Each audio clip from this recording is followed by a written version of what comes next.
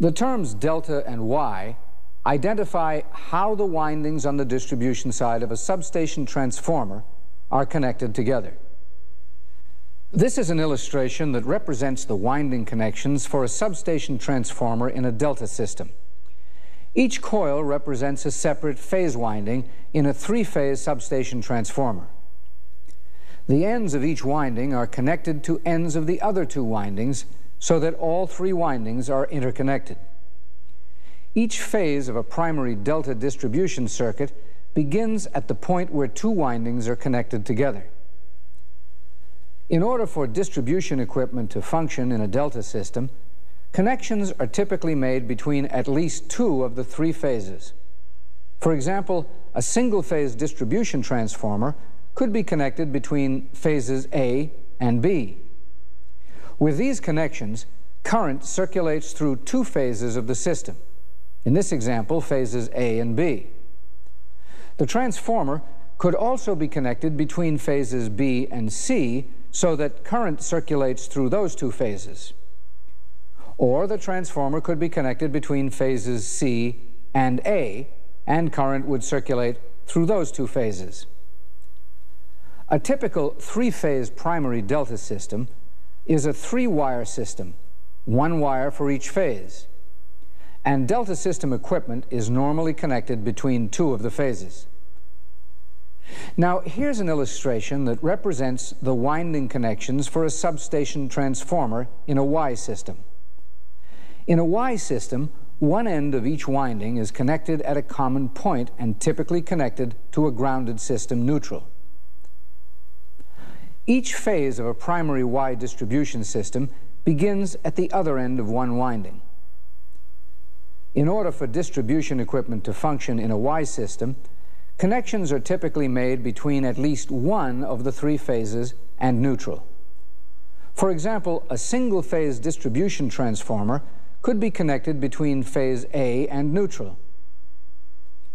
With these connections, current circulates through one phase of the system and the system neutral. In this case, the A phase and neutral. The transformer could also be connected between phase B and neutral, so that current circulates through that phase and neutral. Or the transformer could be connected between phase C and neutral, so that current circulates through C phase and neutral. A typical three-phase Wye system, then, is a four-wire system and Wye system equipment is normally connected between one phase and the system neutral. The number of wires in a primary circuit is not a surefire way to determine if a circuit is delta or Wye, but it can be one of the first clues. For example, here's what a three-wire delta system looks like. There's one wire for each of the three primary phases. Here's a typical four-wire Wye system. There's one wire for each of the three primary phases, and a fourth wire for the system neutral. The system neutral is typically located below the three phases, as it is here. In some specific cases, such as where lightning is a problem, the system neutral is sometimes located above the phase wires, so that it may also act as a static wire to provide some lightning protection. Here's another example of a circuit. It looks like a three-wire delta circuit, but it's actually a Wye circuit. These two lines are phase wires, and this center line is the grounded system neutral. Here's the three-wire delta circuit that we looked at earlier. And here's a single-phase transformer rated for the range of 25 kVA that's connected to the circuit. Notice that it's connected between two phases of the primary circuit. This is a typical connection for a single-phase distribution transformer on a delta primary circuit. Notice also that the transformer has two primary bushings. A transformer on a delta system must have a primary bushing to insulate each of the two-phase wire connections to the transformer. Here's the four-wire Wye circuit that we looked at earlier. And here's a single-phase transformer rated for the range of 10 kVA that's connected to the circuit. Notice that the transformer is connected to only one phase of the primary circuit.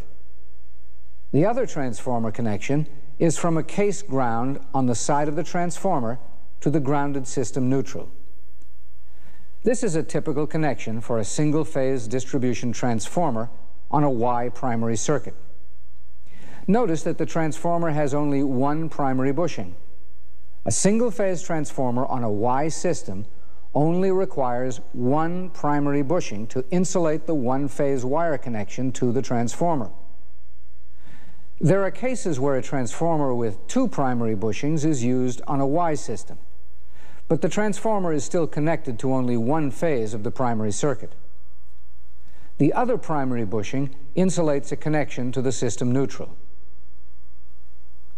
Finally, here's the three-wire Wye circuit that we looked at earlier. It looks like a delta circuit. But look at the transformer. It has only one primary bushing. That in itself says that the transformer is connected to a Wye circuit, because a transformer on a delta circuit must have two primary bushings. This transformer's primary bushing is connected to one phase of the three-wire primary circuit.